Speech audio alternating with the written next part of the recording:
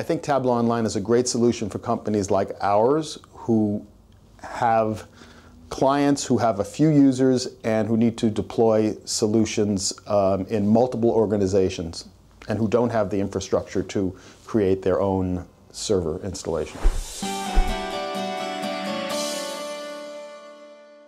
We've decided to use Tableau Online so that we can more easily share information with our clients. Bringing up a server and maintaining it for us is, is, is, a, is not an option. To bring Tableau Online up, there was no need to deploy any hardware at all. Tableau is about speed, speed to analysis, speed to delivery of solutions, and Tableau Online shortens the time frame of delivering solutions to our clients.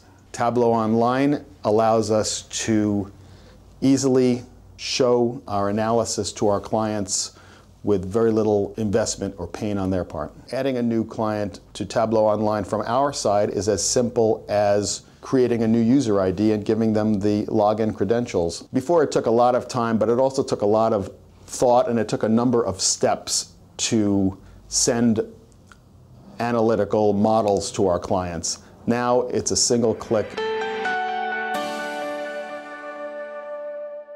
Tableau has provided great value to us because of the speed with which we can take our information and produce meaningful uh, visual representations. Our clients are amazed and very impressed with the richness of the way we can present information visually. I think this provides a um, level of capability for our clients that we didn't that we didn't have before.